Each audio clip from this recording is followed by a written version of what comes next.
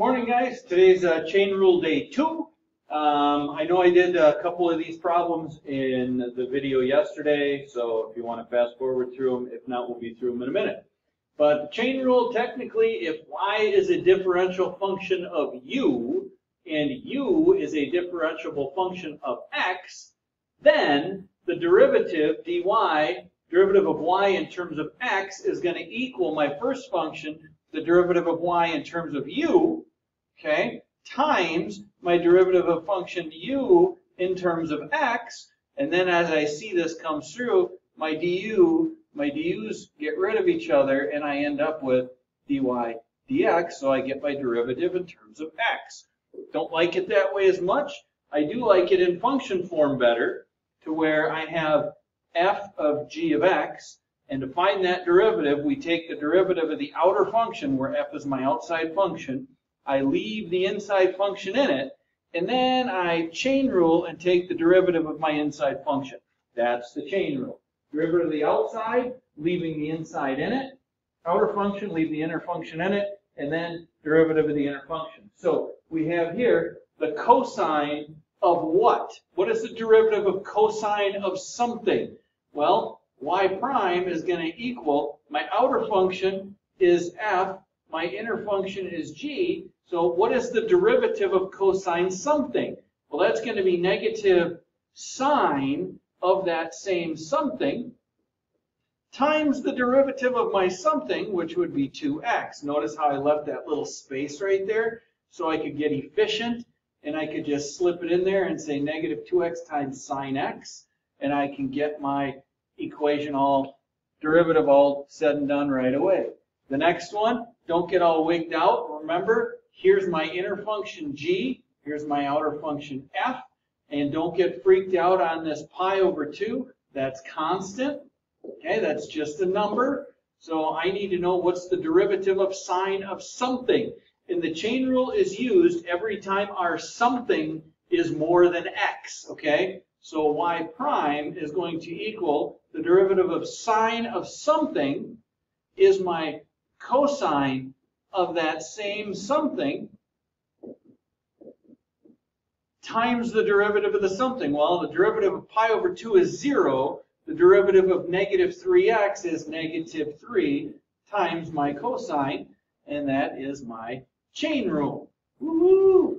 And then we move on. Okay, what's the derivative of tangent something? Well, y prime is going to be my outer function, my inner function, I'm always taking f prime and leaving g in it. So the derivative of tangent is secant squared of that something, okay, times the derivative of my something. Well, 2 times 7, that'd be 14x times secant squared x. And notice how I'm leaving that little space because efficiency, rather than saying secant squared something times my something to where I have to rearrange in front to get my actual simplified answer. I'm just leaving a little space for it sometimes to get it done in there. Okay? Then we move along to number four. Okay, number four, I'm again, I'm looking at my derivatives of a composite function. There's g, and there's f is my square root. So for me, I'm kind of a simpleton with this. I really like to see my exponents, and I know a square root is a 1 half. So what I do is I say, okay, uh, something, what's the derivative of something to the half power? Well, my derivative is going to be 1 half my something. 1 half minus 1 gives me negative 1 half times the derivative of my something, which is 3. Okay. Now here, I look at this because we got to simplify this up a little bit. I like to see, hey, negative exponents, I see fractions. And I also like to see this as 3x minus 7. A lot of people leave the 1 half here. I can see that 3 is in the numerator, that half, that 2 is in the denominator. So some people like their answer this way. And for me, when my function's a half, when my exponent's a half, or a third, or maybe a fourth, a lot of times I prefer to see that as its root, which would be 2 and it's a half, so it's a square root 3x minus 7. So some people like that. Just so you know, they are both completely acceptable. I just do not want to leave my negative exponents. Those need to go away. Uh, wrong direction there. And the next one is number 5. Well, don't get all wigged out at number 5. Now I'm just taking a constant times that. So I think of this as y prime equals, this is 4 times the derivative of something to the third. So rather than make it hard, I like to take my third down to my 4, call it 12, something, drop my power 1, times the derivative of my something, which would be uh, 6x, and then I got to put things together, so y prime is going to equal 6x times 12, that's 72x, times 3x squared minus 5 squared, okay? And no, I don't want to expand that and multiply that, because if I'm looking for my flats, I can see x equals 0, and I can see x equals both positive and negative 5 square root of 5 thirds, okay? But there is my derivative. We'll be looking for zeros and flats soon enough.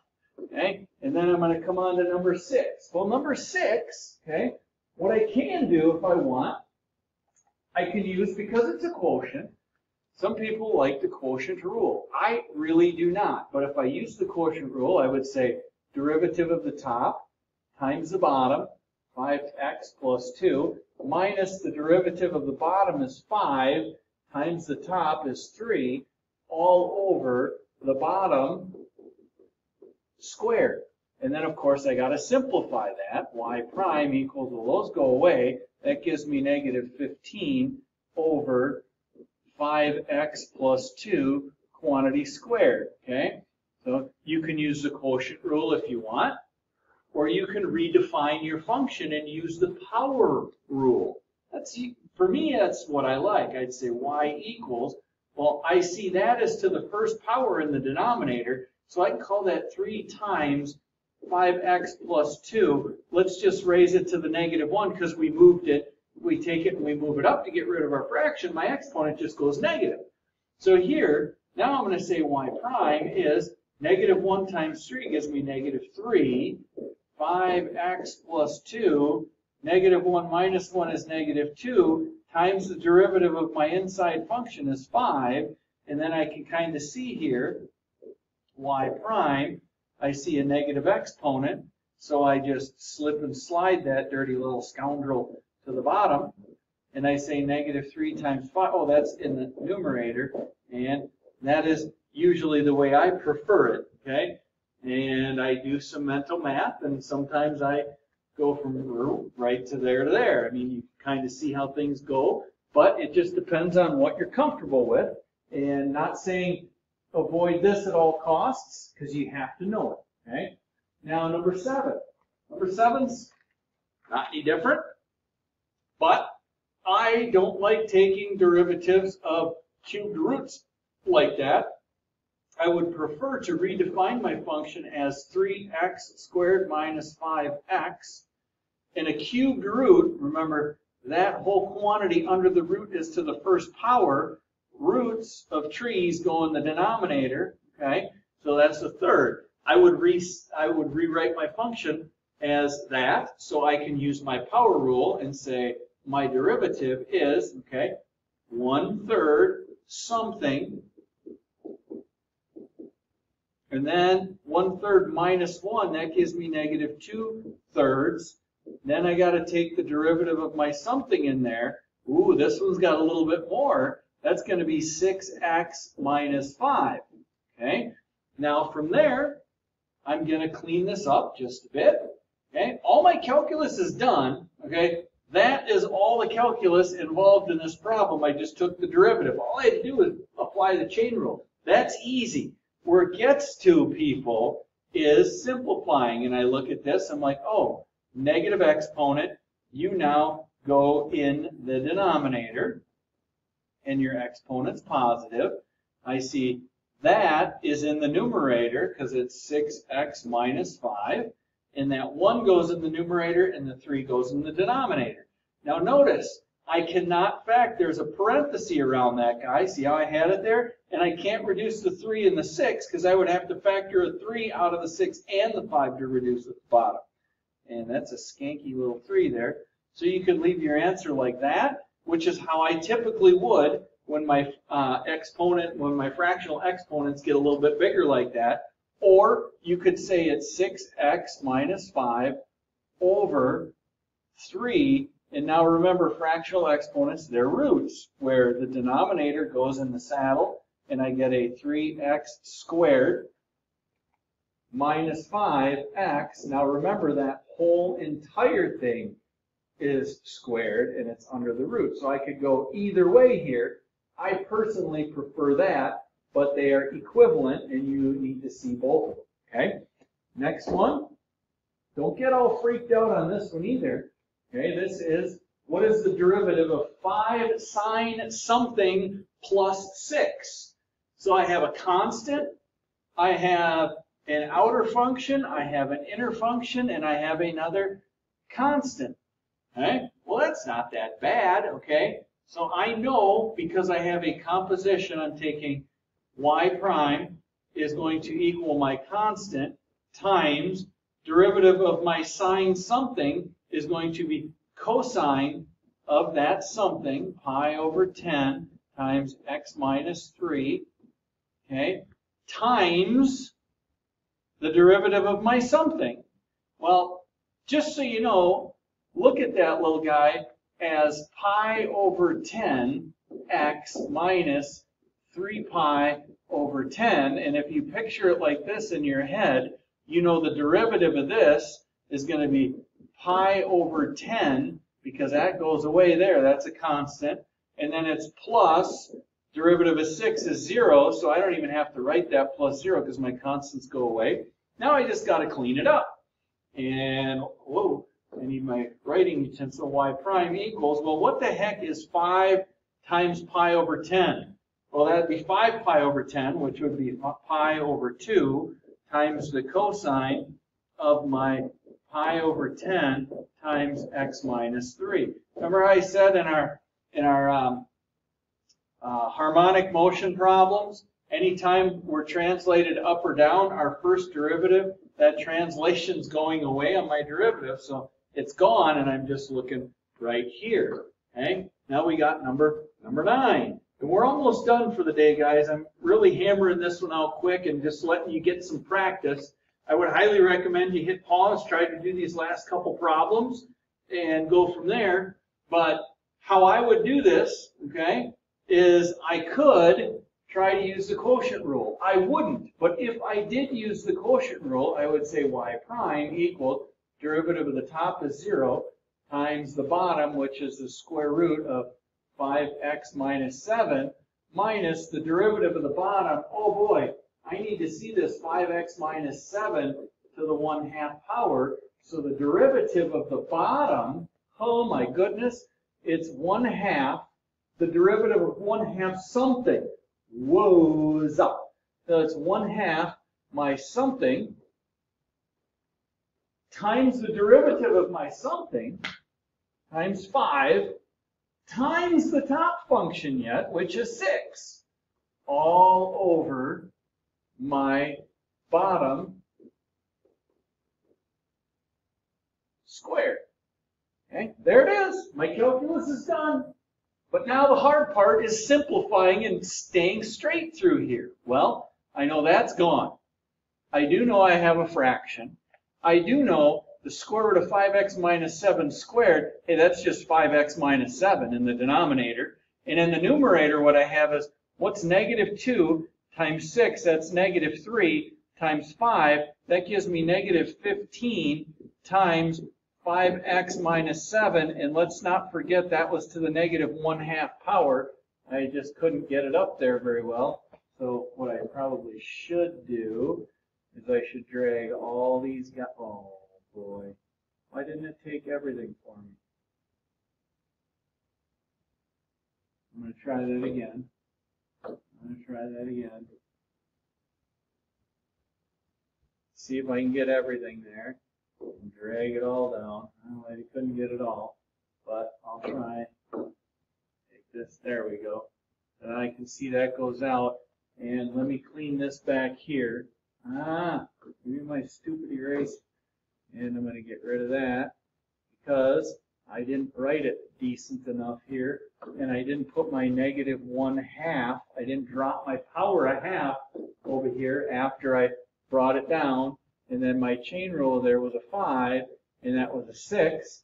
So that's where my half time, negative half times six is negative three. That still gets multiplied by five. That's where my negative 15 comes from. But now I have a negative exponent yet, so I'm not done simplifying, okay? And because I'm not done simplifying, I'm going to keep working at this thing. And that's really negative 15 over, okay, that's 5x minus 7 to the 1 half now. And now I need to see, oh, that's really to the first power, 5x minus 7 to the first power. Now let me ask you, what is x to the first power times x to the second power?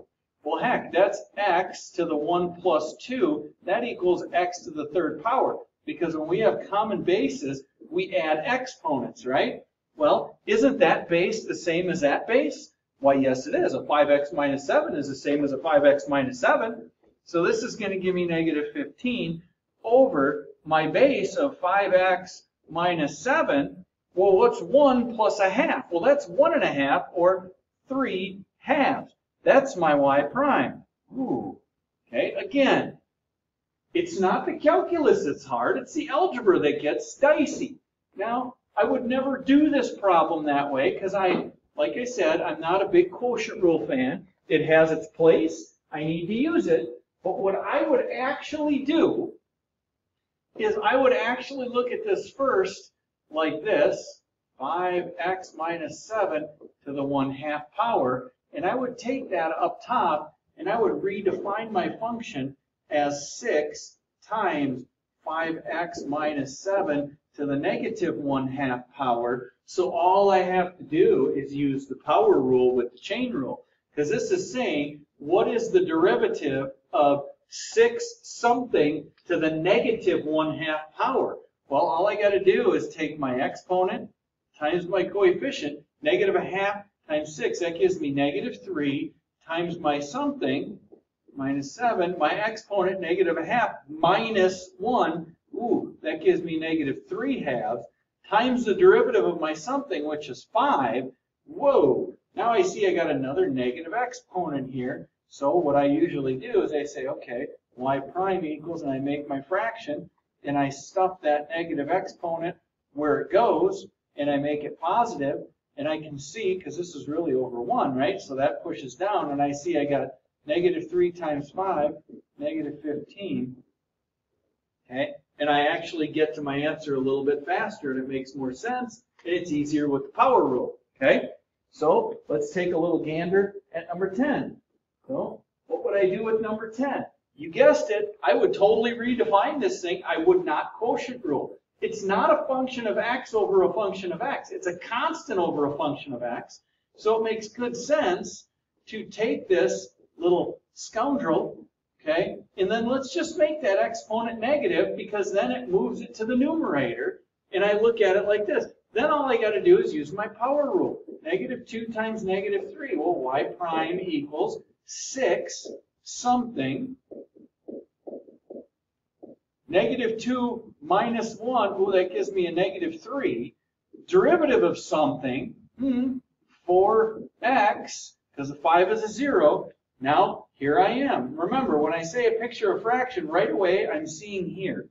I'm seeing a fraction, okay? And then y prime actually equals, and I put my fraction, I say u with the negative exponent, you are getting moved to the bottom, and I see I still got a 4x and a 6. Oh, that would be a 24x in the top. And there is my derivative, okay?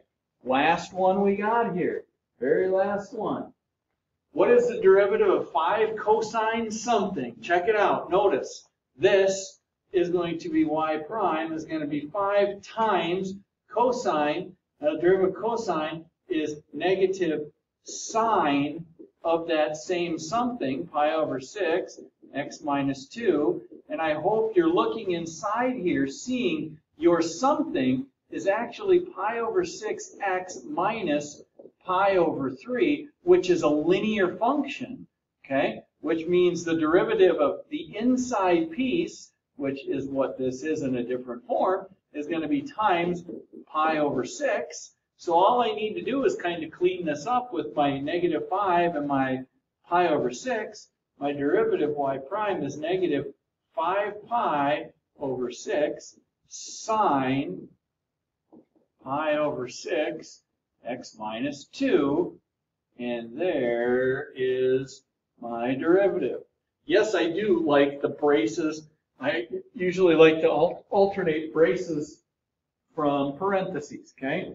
What do we got here in the next one? Multiple chains, multiple chains. Well, I'm not, whoa, I'm not going to do this multiple chain, but all I'm going to tell you is what we're looking at, and this is going to get tackled on Monday, and if you want to try to tackle it before Monday, that's fine. But this is really y equals, because the cosine is cubed, okay, it's really cosine 2x minus 7 cubed. I have three functions. I have a function in a function in a function, okay, where I see my f of x function actually is something to the third. See it? It's something to the third. That's my outermost function. Then when I come into the inside, oh, my g of x function, that is cosine something. Cosine something, because there's something inside the cosine yet, which means I still have an h of x function, which is 2x minus 7. So what is this? This is in here, then they're both put in here, and what that does is that gives me a composition function inside a composition function. That's not really the way to say it, but it's a function in a function in a function. What the crap are you talking about? It's f of g of h of x. Because h of x is inside g, see? h of x is inside g, there it is. And then g of h of x is inside f, because I took both of these, I took that cosine after I plugged that in there, I plugged both of them in here, and I get a multiple chain rule, okay? And I got to keep my chain straight. So what do I do? I work my way from the outside to the inside. And I take my derivatives the same way I did with the chain rule. We will go over those on Monday. However, if you wish to work on some stuff, feel free to work on any non-multiple chains in the in the book, and we will get the rest of this done on Monday. Have a good night.